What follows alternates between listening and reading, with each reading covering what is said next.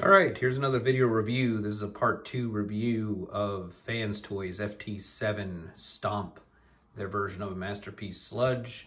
This is him in his dinosaur mode, uh, transformed him.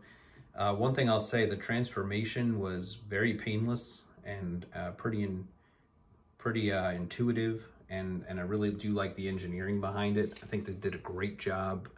Just some simple metrics to get these hind legs to kind of collapse and uncollapse into the robot leg. Uh, but and the locking mechanism for the hips. But yeah, everything went together just really easily and I actually didn't transform my Gigapower Graviter because I didn't really feel like going through that, just knowing that was a little more of an adventure than than this one. So if transformation's is a big thing for you, this this guy I think definitely takes it from an ease of transport uh, transformation standpoint compared to the Gigapower.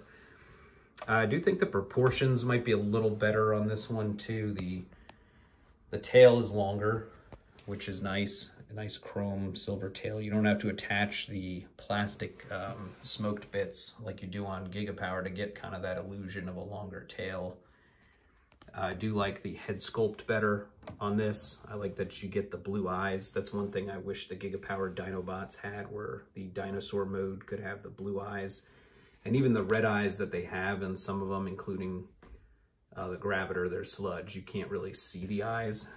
Um, it does have the gun in there, but I just think the shape of this head is more in line with definitely the G1 toy, but I think the cartoon as well. I think the Gigapower Dino head was just a little too tall here, like the shape of it just, you know, is an illusion of like a different kind of dinosaur. I do like the Gigapower neck is a little longer. I mean, I think this one's not bad, but uh, I do like that longer neck and just the overall size of Gigapower. Gigapower is just gigantic. I mean, this is big and it's dwarfed by the Gigapower. But yeah, very nice looking. It To me, it reminds me of the G1 toy, this one as far as the colorations and the way the, you know, just the overall grays and, and gold chrome and silver chrome, what it looks like, which is also, I think, maybe closer to the G1 cartoon as well. So I think, I think if I were to get a set of uh, bots in dino mode for display, it would be the fans toys.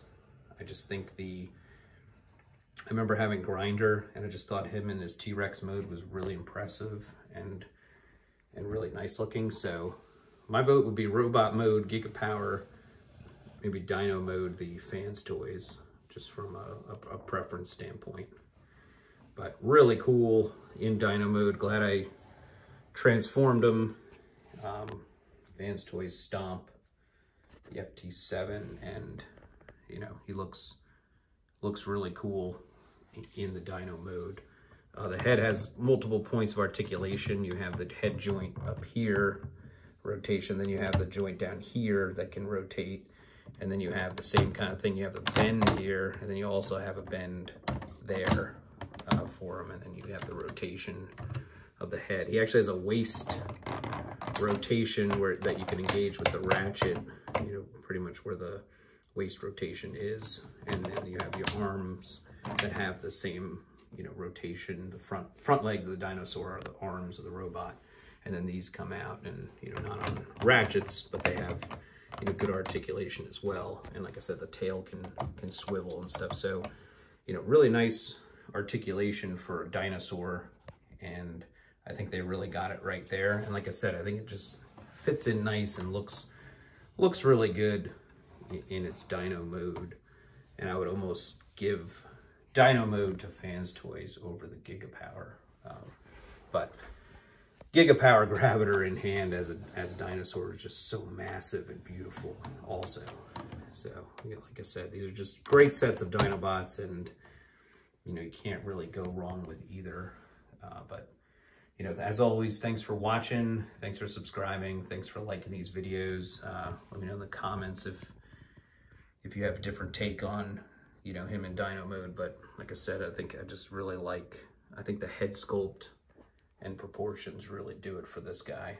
And I will see you at the next video. Thank you.